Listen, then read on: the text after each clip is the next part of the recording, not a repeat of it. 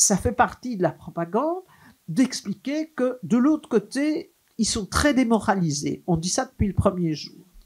Qu'ils ont plein de déserteurs. Alors c'est curieux, il n'y a pas de déserteurs du côté ukrainien. Or, moi, je vois un rapport de Caritas Catholica qui dit on aide les déserteurs qui passent la nuit en Roumanie.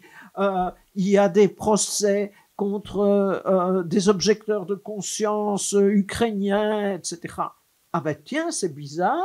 Moi, euh, quand je tape déserteurs ukrainiens, figurez-vous que je suis automatiquement ramené à des déserteurs russes. Alors, donc il y aurait un camp où tout le monde est enthousiaste et l'autre camp où depuis le début les gens n'y croient pas, ça va très mal se passer, il y a plein de prisonniers, ça aussi c'est un, grand classique. Euh, nous faisons plein de prisonniers, tandis que euh, de l'autre côté, évidemment, euh, ils n'ont pas fait de prisonniers. Et dans les armes illégales, je mettrai aussi la question des mercenaires. Chacun accuse l'autre d'employer des mercenaires. Mais nous, on n'emploie pas des mercenaires, nous, on a des volontaires. Hein. C'est tout à fait différent.